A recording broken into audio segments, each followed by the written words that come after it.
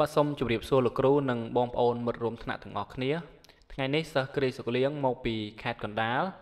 នឹងធ្វើវីដេអូ test case សម្រាប់លំហាត់ថ្នាក់ MCU 101មេរៀនទី2នៅក្នុងលំហាត់នេះដែរគឺតម្រូវឲ្យយើងសរសេរកូដឲ្យ Arduino បូក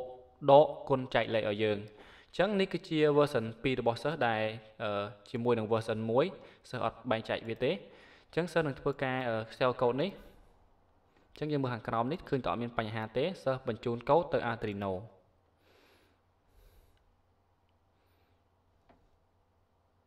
អូខេឃើញថាវាមកដល់ហើយចាំបន្តិចចឹងសិស្សនឹងធ្វើការឲ្យវាធ្វើការកណនាលេខចំនួន50លេខនេះគឺជាលទ្ធផលដែល Arduino បានចម្រុះមក ពី data set ហើយនឹងនេះជាចម្លើយរបស់វាចឹងសិស្សនឹងធ្វើការយកលទ្ធផលទាំងអស់នេះយកទៅឆែកនៅក្នុង spreadsheet មកតង់ទៀតចង់ដឹងថា Arduino គឺវាធ្វើការត្រឹមត្រូវដែរឬទេអញ្ចឹងសិស្សផេះវានៅទីនេះហើយសិស្សនឹងធ្វើការបែងចែកឲ្យវាចម្លើយដាក់តាមចម្លើយមួយនេះគឺជាចម្លើយ Arduino ហើយនេះគឺជា input របស់យើងចឹងសិស្ស copy input ដាក់ column មួយទៀតហើយសិស្សនឹងធ្វើការដូរ format វាទៅជា number ដើម្បីឲ្យ spreadsheet ធ្វើការគណនាឲ្យចឹងនេះគឺជា spreadsheet ចម្លើយរបស់ spreadsheet ហើយសិស្សនឹងធ្វើការ round round ចម្លើយមួយនេះមកតង់ទៀតអញ្ចឹងសិស្សសេវមុននៅក្នុងនេះបន្តិចអញ្ចឹងឲ្យវារោនកលឹមហ្នឹងចំនួន3ខ្ទង់ហើយធ្វើការអូសវាដល់ក្រោមអូខេហើយបន្តមកទៀតសិននឹងធ្វើការ convert អា ពួក column នេះគឺជា touch ជាអញ្ចឹងសិស្ស convert វាទៅជា number អញ្ចឹងចម្លើយវានៅដដែលទេ Arduino អញ្ចឹងសិស្សដាក់នេះគឺចម្លើយរបស់ spreadsheet ដែរប៉ុន្តែយើង round រួចអញ្ចឹងសិស្សនឹងយក column មួយទៀតដើម្បីឆែកថាតើវាខុសគ្នាឬក៏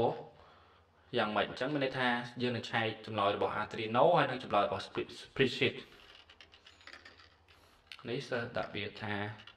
ឆែក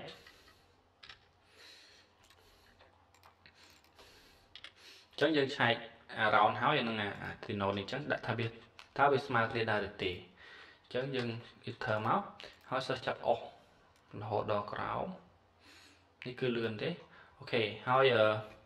សិនធ្វើការចង format វាបើសិនជាវាឃើញថាវាមានខុសបើសិនជាវា form នេះថាវាចម្លើយវាខុសគ្នាពីរហ្នឹងអញ្ចឹងសិស្សចង format វាដើម្បីឲ្យវាដកពណ៌ឲ្យវាសិនជាវាខុសអញ្ចឹង equal សិស្សដាក់លេខនេះអឺបើសិនជាវាស្មើនឹង false ឲ្យវាចេញពណ៌ក្រហមហើយសិស្សធ្វើការ add មួយទៀតបើសិនជាវា true ឲ្យវាពណ៌ពណ៌ហ្នឹងអញ្ចឹងយើងចង់ដឹងថាវាពណ៌វាលោត្រឹមត្រូវដែរទេអញ្ចឹងបើសិនជាវាចេញចម្លើយមក true សិស្សឲ្យវាពណ៌បៃតងអីយ៉ាស្អុយពណ៌នេះដូចជាបៃតងពណ៌ក្រោយអញ្ចឹងឃើញថានេះគឺជាលទ្ធផលក្នុងការឆែកទៅរវាង Arduino answer ហើយនិង spreadsheet ចម្លើយរបស់ spreadsheet អញ្ចឹងឃើញថាវាអត់មានអីខុសទេ គឺវាមានត្រូវត្រូវទាំងអស់បើសិនជាវាខុស perform វាចេញពណ៌ក្រហមអូខេអញ្ចឹងសិស្សនឹងធ្វើការឆែកនៅ C sharp មួយទៀតបាទឥឡូវសិស្សនឹងធ្វើការឆែកចម្លើយរបស់ Arduino នៅក្នុងកូដរបស់ C sharp ម្ដងចឹងសិស្សនឹងរត់វាម្ដងទៀតហើយយកចម្លើយវាទៅតេស្តនៅក្នុង application ដែលសិស្សបានបង្កើតដោយកូដ C# ចឹងសិនធ្វើការវាយចំនួននឹង50ចុចចុចវា ចឹងនេះគឺជាលេខ Arduino បានធ្វើការកណនាអញ្ចឹងសិស្ស copy វាទាំងអស់ហើយសិស្សនឹងធ្វើការយកវាទៅផែនៅក្នុងយ៉ាផែនៅក្នុង notepad